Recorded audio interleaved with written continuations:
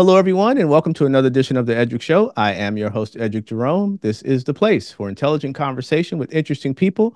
Go ahead and ring that notification bell. Go ahead and hit that like, subscribe, and you'll get notified when I post content each and every week.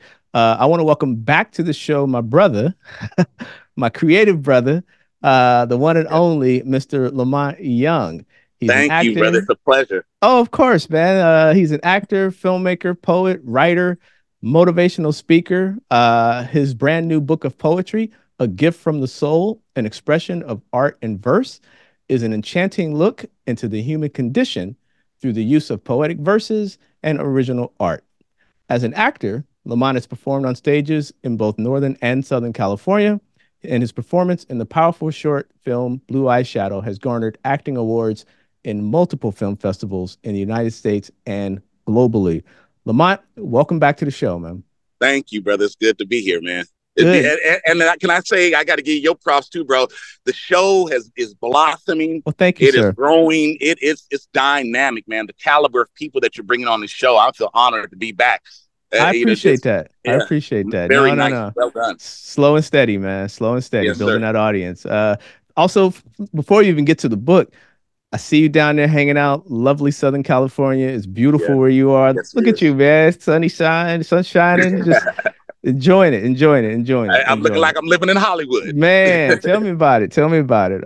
Uh, this is gonna be a tough interview because you know it's my brother, so we we go back and um, but I'm, let me get let me get back on point. So, all right, sir. First of all, let's go. Uh, tell me about the title of the book, "A Gift from the Soul." Uh, what's the story behind the title? Uh, and how does that reflect the themes of the collection? Um, the title literally came to me as one of the poems usually comes to me. It it, it just came. I, I, my wife, praise the God for her. She very instru- she was very instrumental in helping me to write this book because she was on me about uh, about organizing the different poems that I had in different notebooks and whatnot. And and so um, when I finally sat down to kind of compile everything and I and I edited everything myself and and kind of formatted the book myself. Yeah, thank you, sir. I, I I came. I was. I was just sitting there, and it was a. It was a labor of love, and I felt as if I gave it from my soul. Kind of a lot like when we did Blue Eyeshadow. And when we were done with Blue Eyeshadow, we both were so invested that engaged so much of ourselves that it was like,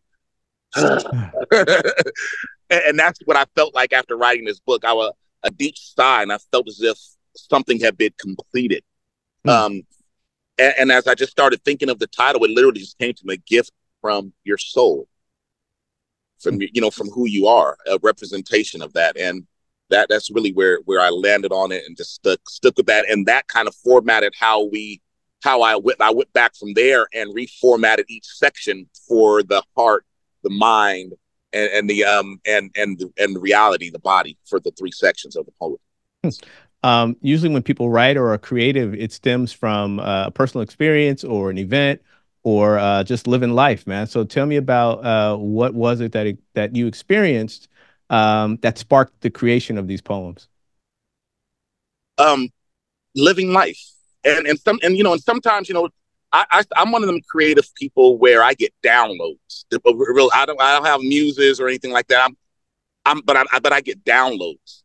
I'll I'll something will happen, I'll be I'll be contemplative or or understanding different things as I go through life. And and once I get to a certain point of understanding, it seems like the whole thing just and I have to write it down. And most of the times it's so dense, I don't even know what it means. Many of the poems that, that are in the book now um, are poems that I've written 20 years ago, 30 years ago. Um, and just now I'm starting to understand the meaning of them as an adult, what they really represented, or I'm able to unpack them a little bit more. So, so the inspiration really comes from beyond me in most cases. Hmm. Um, you also illustrated the book uh, in addition yes. to writing it. So, um, tell me about the images that accompany the poems, and uh, and and again, walk me through that creative process of not only putting pen to paper, but now you're sketching out and actually illustrating uh, graphical interpretations of the pieces. So tell me about that process. Okay, so the the the the, the artwork and the poems are disconnected in the way. Interesting. As far as from the creative the creative part of it. Um, the poems came separately over a span of 30 years, and so did the artwork. And and, and they were all just in boxes in my closet, deteriorating and, and falling apart. Um, and when I and when I did the book of poetry, I was going to look for an artist, and my wife was like, "Well, baby, you have all this art in here," and I was like, "Well," so I just started going through each poem, and it was a process, man, of of of revelational understanding. Uh, to be honest, of even what the what the artwork meant. Many times, I, I would start crying as I and, and as I was able to link each poem with the with the um with the picture because it gave it new meaning, and it gave it a depth that I didn't understand at first. And and as I was pairing them up, it was it was healing for me. And and so in most cases, and, and actually every poem, every book, every um art piece of artwork, except for one, and I'll share that. Um, this one actually is my mother. She actually created that. And I actually have the full um, painting in the house. Our family wow. fought over it after my mother passed. We she had like 20, 30 different um, paintings, and and we all div- divided. My mom was a, was a superlative artist, superlative artist, um, and uh, she kind of inspired a lot of the stuff. But this is her um, actual work right here. Um, the other poem, other uh, uh, pieces of artwork are are uh, are mine, and they are original, and they were just things that came to me just like the poems. Hmm. and I and I would just oh, oh and, and you would think I was crazy because I'd get into a zone and I'd do each I'd do it in one one night, one day, and just and just sketch it out. Yeah. Uh, one thing I know about you is that your ability to, uh, as you say, you know, get into the soul and your creative spirit, and the way you can become that vessel to to share, uh, you know, themes and and and and, and things about humanity. You really, you know, it's not just. And we'll talk about your work on the stage because you you do it there as well. Um, so in that vein, what do you want people to take away uh, from reading your poems, and uh, what should they be reflecting on when they're finished? The nature of life. Um, the poem is the, the, the book is broken up into three sections, right? It's the um, it's it's the heart, which is the soul, the mind, which represents thought, and the body, which represents reality. And a lot of us, you know, we go through turmoils in life in any one of those three areas and sometimes in all of them as we try to acclimate ourselves to the pressures, the stresses of life, as we try to interact with people and situations and things that seem outside of our control or outside of our understanding. And what I and what I attempted to do in this book of poetry is to speak for people in a way, in a nuanced way that allowed them to find themselves in each one of these poems as they reread them, as they read them over and over again, almost like scriptures. When you read the scripture at one point in life, you gain one understanding. And as you read it at another point in life, you gain a different understanding. Well, these poems are the same way. I've been gleaning and gleaming rather knowledge and information from them and insight of who I am and who and as who I am as a human being just from reading them. Like one of the poems is um, called Humanity.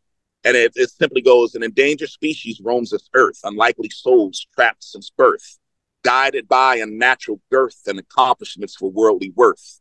As each may smile hand in hand and gladly choose unspoken paths, endangered all since birth.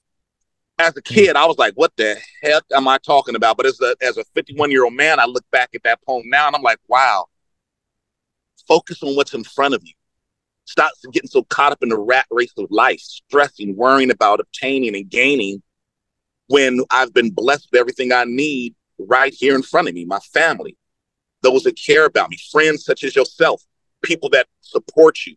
Those are things that you need to focus on, not the rat race of life. So in these poems, I'm hoping people find an understanding of how to live life effectively and and with peace. With peace, through having an understanding of what they're really looking at. Uh, I want to shift gears now and talk about uh, your work as an actor. Uh, you are a very talented actor, both on stage and in, uh, on screen. Uh, you've done national commercials for Etsy. You know, we can run through your resume, man. You you were on uh, Nickelodeon's Danger Force. you've done a, just some outstanding work on stage, including in the film Blue Eyeshadow, as I mentioned earlier. Um, but I want to talk about your your most recent piece that I was able to see you and uh, your talented wife Tamara in, and that was uh, the original piece "Sessions Over." You guys had a chance yes. to perform that down in LA at the Peachtree uh, Film Festival that er, that we were able to to be a part of, and you guys did that piece on stage. Um, tell me about that original piece, man, because it was so captivating. Uh, just the way, and, and also the way you guys work together, not only as as acting partners and producing partners, but also as a family, because you have other things. You have your little guy to take care of, but you guys are able to, to, to swirl all that together and come up with uh, just an amazing piece of work because uh, it, it, it stays with you after you see it, man. Thank you, man. I appreciate you. Well, hey, I have to give all credit to my wife. I mean, we helped to produce it, but uh, my wife, as you said, is a talent.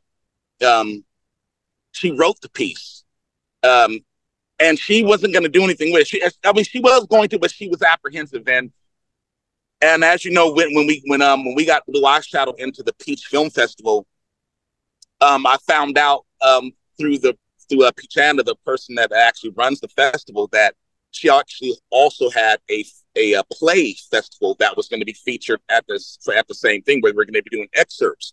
So I talked to my wife and I was like, "Baby, uh, let's go through some of your stuff and let's let's see which one we should do." So we read a couple of them, and I told her, I said, "Baby, we got to do this one. We have to do this one. Just the subject matter, the the, the you know the intensity, the the the the, the wordplay, the the the the, the way the humor. It's, it. it's funny and it's funny. yeah. On top yeah. of that, yeah, yeah, yeah, it really is. And I'm and I'm like, okay, um, this is hilarious and it's well done. So we submitted it, um, we got it, and we and it was accepted. Um, and we took an excerpt from it. So the full length, the full length play, we're actually doing a play reading um this month um uh, here in North Hollywood. Uh, so where we're going to be actually doing the full play, and then we're going to actually be putting it up or filming it. We, we're, we're going back and forth on which we're going to do. But for the Peach uh, Film Festival, we did an excerpt from it, uh, and that was our first time ever putting it on his feet. first time doing it, and, we we came through with a quick little scene as far as the dynamics between the characters, how we were gonna, how it was gonna play out, and at the end, what we really relied on is just our ability to interact with each other in in because in many ways, as my wife was telling me, oh, this character is the amalgamation of you and uh, and and some research and a couple other things that I've been looking at and some of the conversations we've had about how you say men think um as far as where where the modern woman is right? And, and so she she she took that ball and ran with it man and it, it was a blessing to behold and expand and to be a part of and and it's something that we're growing from and building off of and uh, to, to you know to make it a little bit more substantial. Yeah that's really exciting man because um the the feel of the audience you know when you're watching a play you can tell how the audience you can feel how the audience is responding to it. And when you guys perform that piece uh they the audience was right there with you man. They really were on every word. So uh looking forward to you guys being able to expand that piece because um it's uh it, it, it is interesting conversation about the dynamics of male and, and, you know men and women's relationships in, in modern yeah. society. You guys got a, did a good job of that. So uh, yeah, yeah, yeah. It, it, was it was well, it, yes. And, and, I even though she wrote, I take onus for the fact that I, I I noticed a lot of my verbiage and not in it. I was like, I was like, I didn't say that. I was like, are you talking about me in this part? Because because I know I actually said that to you in response to you know. So so so some things are funny the best art comes from uh, real world experiences, right? yes, sir. Yes, sir. very good. Very good. Um, we we have to talk about the the the um, short film we did, Blue Eyeshadow. It is still percolating along. Um, you know, the we wow. we did the piece, you know, a couple years ago. It's been in, as I mentioned in the opening. I think we're up to fifteen film festivals. It's been been associated yeah, with fifteen, so, and we've we've uh, placed in fifteen. We actually won eight of them. Yeah, yeah, and also uh, we just got word that uh, one of the film festivals we were in last year, Town Street Theater, the prestigious Town Street Theater Film Festival in LA, they contacted us and they want to screen it again this summer. So uh, again, this film uh, is just powerful. It, it, continues to speak to people. And uh, but my question to you about the film is, now that we are, you know, a couple years from actually filming it, um, when we did it, did you think we'd have the success we've we've been having? I mean, what, what was your take on it? And, now that you see what it's kind of grown into, um, I'll, I'll say this: um, when we were producing it, I know I brought together the right people to make sure that it would be a success. I know that. Um, just because of you know, and and and and I, a good friend of mine, um, I say a brother, Master Gee, Guy O'Brien from Sugar Hill Gang. When I used to work for him, he used to tell me proper preparation prevents piss poor performance. Uh, so we we prepared, we prepared, we over prepared, um, over practiced, over analyzed, over critiqued every aspect of what we were doing because we wanted to honor you as the writer and the fact that this was a personal experience that you were sharing with us and we wanted to be and we thought it was such a beautiful story that we wanted to make sure that we did it justice as we all shared it with the rest of the world. So from that perspective i knew it would be a success because the intent and the focus was to be a blessing to people because that was the intent and focus when you wrote the piece. So we had to translate that into producing it as a film. Um and so to be honest I didn't know that we get all the fanfare that we've been getting two years. I knew we would. I knew we would win festivals. We had all the key components.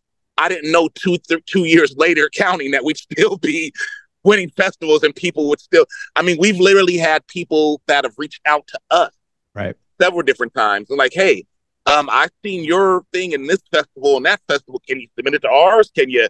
We'd like to have it in our festival, and and you, that's unfounded in most cases. It's, but it's funny think, you say that, man, because literally yesterday, and I hadn't we, we hadn't had a chance to talk. I got another email from another festival, literally yesterday, asking about screening Blue Eyeshadow. So, see, man, man, see, and, and that's just because of what we put into it, the, the, the passion that you put in it in writing, and as the executive producer, the passion that I put into it as the producer, the passion that Terrence put into it as the shout out to Terrence Ivory, absolutely. Yeah, the passion that my wife put into it as a co-producer, and and when you get all those minds, creative souls that are geared towards excellence and being a blessing, that's what funneled into the the the camera crew, the film crew, the editing crew as we went through the editing process. Shout out to um to, to Marquez, Marquise, that's my brother. Uh, he he he he was a dynamic editor, brought a lot of things together and nuances together. Um, overall, I knew that we would be a success. And I say, and I'll speak prophetically. I think that the the, the, the piece is not done with. Yeah, um, you and I have had conversations and talks about you moving it into the teaching and educational arena because of the subject matter. Mm-hmm. And, and, I think that um, because I, I say this, anything that you do with the intent and focus to be a blessing to someone sincerely, uh, there's going to be a certain degree of providence that's placed over it, and a certain degree of favor that's going to be placed over it um, as as as the pro- as any project moves forward. And I think we found that, um, and and that's the reason why it's blessed the way it's and been blessing us the way it's been doing. And, and I would be remiss if I didn't give a shout out to Sandra Varner, also one of the oh heck yeah, the, the, who, the, the other producer, Miss Sandra, and she because she was the one who helped us get the original thing together on his feet on on for the, for the, the the play. Right. So she was she's instrumental, and and and with her ability to be able to help us market it and, and push it at, these different arenas. Um, it's so so with us with us five. Please pardon me, son, for not mentioning you. For us five, the coming together, um, that that was the key to to the success. Absolutely. And people, you can see the film. Uh, just go to seeblueeyeshadow.com. I'll have the website down there. seeblueeyeshadow.com. You can get to our YouTube channel. Uh, not only do we have the film up, we've got some behind the scenes footage. Uh, we've got a video on the evolution of the film, and then uh, there's several vignettes of me asking Lamont about his creative process, uh, which are, are, very, very interesting. So um, seeblueeyeshadow.com, uh, and you can check out our award-winning short film, uh, which continues to uh, gain an audience uh, as people yes. discover what we what we did. So uh, we've got a few minutes left, man. So let me ask you now: um, if people want more information about the book, they want more information about you. Uh, you I know you can go to Amazon. You know, I got my copy. Uh, yes. Gifts from the Soul. Uh, so where can people get the book, man? Um, you can get it on Amazon. Um, it, it's under under just the title of the book, "A Gift from the Soul." Lamont um, Harold Young, uh, author. Um, also, the gift for the soul. We did a we did a live event um, uh, just a week ago um, where we um, actually had some spoken word art poets there, um, and I and it was a book uh, book launch release for the book. Um, but this, so we're going to actually be doing a online version of the of the actual uh, show, and we're going to be doing it as a repetitive thing in order to be uh, uh, in order to be able to showcase the gift from the souls of those people that are uh, that speak to life. Uh, poets speak to life, and, and in a special way. And in fact, poets were the beginning for most artisans. Eh, you know, as far as with the written word, right? So, um, the gift from the soul is actually going to be an online venue um, and it's going to be something that we bring back as a live version also. So there are going to be a lot of opportunities for people to tap in and connect. And you can reach me um, to find out more about all that uh, just through Instagram and Lamont Harold Young, or you can look up Powerhouse Inc. Productions. Um, and you can reach me at LHY Powerhouse Inc. at uh, Gmail uh, for any direct questions or bookings or or or collaborations. Because uh, I'll say this: um, this man here is a speaking of Mr. Jerome, is one of the most talented producers that there is in the game right now. And and and him and I quite often talk about how we can be instrumental in helping bring other people's visions and dreams to life. So uh, if either reaching out to Eddrick or reaching out to me, if you have a vision or you have a script or you have something that you're looking for that you want produced, um, we can do everything because we have a team of writers between Eddrick, I, my, myself, my wife, and a couple other writers where we can actually do everything from script analysis, rewriting scripts, and we can do everything from concept uh, all the way to film, full fledged film production, and exactly. the help of Sandra and others such as that. We have the ability to strategize marketing plans um, and everything. So um, definitely reach out to either of us if you also have a buzz or a muse for for filmmaking. Excellent, excellent, excellent. And I know we we've been workshopping. Uh, we won't say a whole lot about it, but we actually have done some read throughs on another project that we have that is uh it's a, it's a it's a doozy yeah yes it's a doozy yes. and it's, it's going to be a blessing absolutely some more to come on that so lamont again man uh congratulations on publishing your book a gift from the soul uh expression of art and verse uh i love working with you man you're my brother i appreciate yes. you um, thank you for sharing your talent and vision. Please give the, my best to Tamara and your little guy. Uh, you have a beautiful family, man, and uh, I just want to say thank you for taking the time uh, to sh- to share with us from that beautiful, beautiful place you are down there in SoCal. Magnificent where you're sitting right now. Uh, just hey, you know, I'm blessed. you are. You are. I'm you blessed, are. brother. You are, man. You are. Well, continue blessings to you and the fam. And uh, again, I want to thank you so much for coming on the Eddrick Show. Yes, sir.